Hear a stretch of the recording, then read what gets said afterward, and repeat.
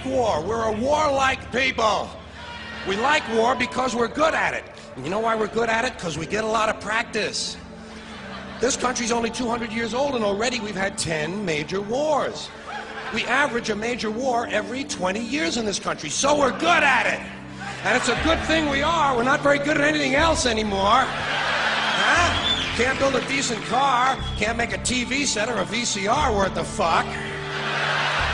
Got no steel industry left, can't educate our young people, can't get health care to our old people, but we can bomb the shit out of your country, all right?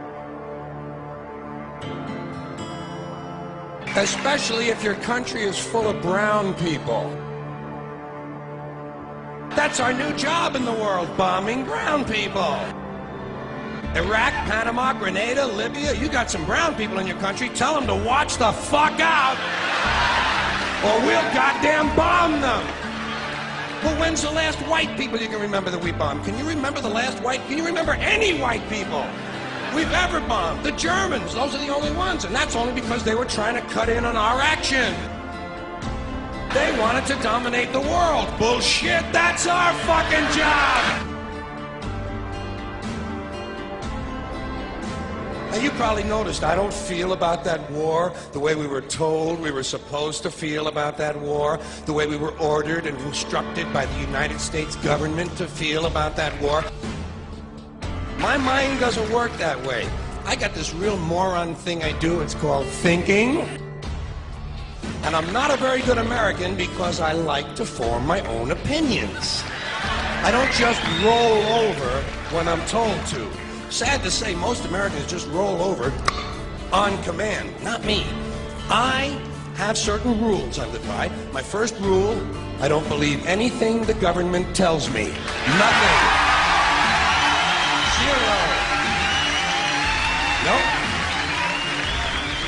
And I don't take very seriously the media or the press in this country, who, in the case of the Persian Gulf War, were nothing more than unpaid employees of the Department of Defense, and who most of the time, most of the time, function as kind of an unofficial public relations agency for the United States government.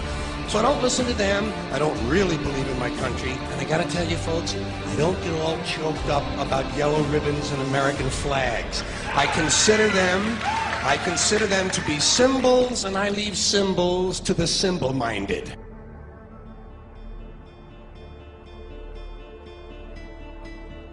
I'm talking about the fact that a, a, war is you know, rich old men protecting their property by sending middle class and lower class young men off to die. Forget these, these foolish elections. The owners of this country don't care about the poor in general. The owners and of this don't country. care about what are we going?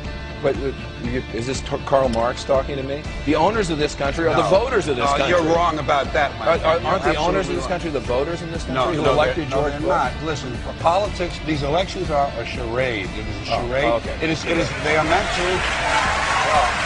I'll tell you. Listen, just listen for a minute. Learn a little something. Ele- elections and politicians are in place in order to give Americans the illusion that they have freedom of choice. You don't really have choice in this country. All the things that are important reduced in choice. Newspapers in a city, how many? Used to be three, four. Now it's one or two. They're by the same people, and they also own a radio station. Give these people a voting day every year so that they'll have the illusion of meaningless choice. Meaningless choice that we go like slaves and say, oh, I voted.